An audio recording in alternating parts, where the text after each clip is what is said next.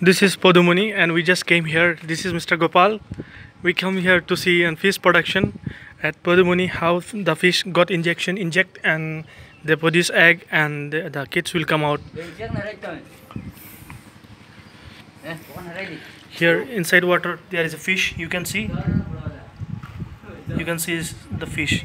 Just after a few minutes they will inject the fish and after 24 hours they will produce an egg.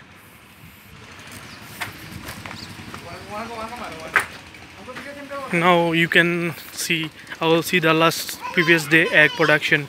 The egg uh, this is the fish. They came out. Small small fish you can see. See the fish? Small small egg. They came out and all they are enjoying their life the small fish